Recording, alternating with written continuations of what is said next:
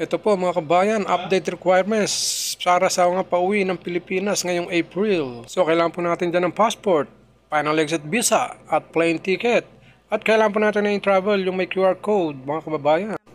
Ito naman po para sa mga magbabakasyon sa Pilipinas. Kung isa ka pang OFW at magbakasyon po kayo sa Pilipinas, ito po ang ating mga requirements na dapat natin handa. Passport, re-entry visa, plane ticket, round trip, e-travel that may QR code mga kabayan.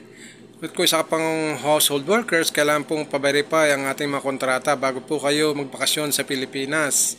Kung isa ka naman pong skilled workers at hindi ka po lilipat ng ibang employer, hindi mo naman kailangan magpa-verify pa ng iyong kontrata. Kung isa ka ng skilled workers at nag-change employer, kailangan po natin magpa-verify ang inyong mga kiwa contract. Para po naman po sa mga nagtatanong tungkol sa e-travel na nahihirapan po sila mag-register, pwede naman po kayo mag-register sa link doon po sa e-travel.gov.ph. Pwede po kayong hindi mag-register sa apps. Choice po yan yan kung saan po kayo sa link sa website or doon po sa apps. Para po sa akin, mas madali po mag-register sa link ng e-travel mga kabayan.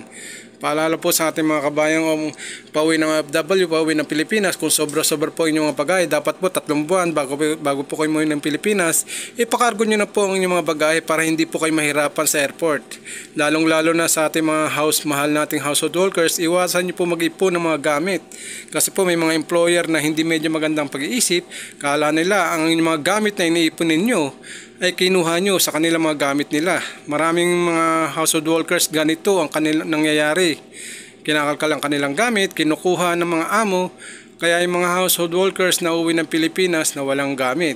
Pero choice nyo po yan kung ipapadala nyo yan sa Pilipinas bago po kayo umuwi. Kung may pera naman po kayong mga pambayad sa extra kilo ng inyong mga bagahe, pwede nyo pong bayaran yan. Nasa nyo po yan. Ugalin nyo po i-double check ang mga plane ticket mga kabayan tignan po natin kung ilang kilo ang dapat natin dalhin para pagdating po sa airport, hindi po tayo magbubuklat o magbabawas pa ng ating mga bagahe, mga kabayan. Meron po tayo isang kababayan na hindi nakauwi ng Pilipinas dahil sa bagahe niya sobra-sobra. Naubos ang oras niya sa kabukal, kabukas ng kanyang mga bagahe, kakabawas hanggang maubos ang kanyang oras at naiwan siya ng aeroplano iwasan po natin maglagay ng mga electronic gadgets sa check-in baggage. Yung mga electronic gadgets po ay nilalagay po sa hand carry. Pero depende po yan sa airlines kung ano po kanilang mga protocol. Kung may dala ka pong laptop, kailangan po natin tanggalin ang battery. Kung may power bank at cellphone po, kailangan po yan sa, sa hand carry. Maging updated po kayo sa lahat ng requirements pauwi ng Pilipinas mga kabayan. Ako nga pala si OFW Kese at your service mga kabayan.